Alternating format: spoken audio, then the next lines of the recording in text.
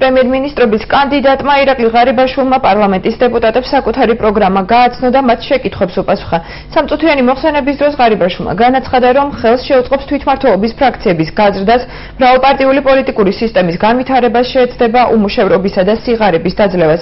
მსხვილი და საშუალო ბიზნესის განვითარებას ასევე შეისწავლის ელიტარული კორუფციის მასშტაბებს და ეფექტურად შეეცდება მის გამოსწორებას. ხელს შეუწყობს საქართველოსი დემოკრატიული ინსტიტუტების მშენებლობას და სახელმწიფო ორგანოების დაბალანსებულ მუშაობას. ირაკლი ღარიბაშვილმა ასევე მედიის თავისუფლების მნიშვნელობაზეც ისაუბრა, რასაც მისი აზრით ხელს სარეკლამო ბაზრის დემონოპოლიზაცია შეუწყობს.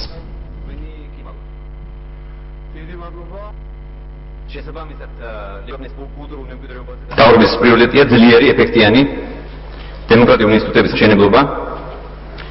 იმისათვის რომ დემოკრატიული რეფორმა შეუცვლელი ხასიათი მიიღოს და განახორციელოს განახორციელდეს ფართო მასშტაბიანი რეფორმები, თავრობა საზოგადოების აქტიური მონაწილეობით გაატარებს საკონსტიტუციო რეფორმას.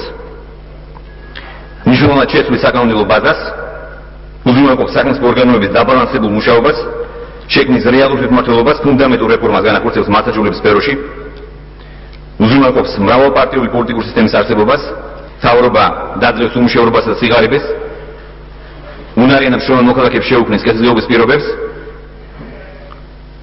ამიტომ იგი განავითარებს სრულ და საშუალო ბიზნესს და სოფლის მეურნეობას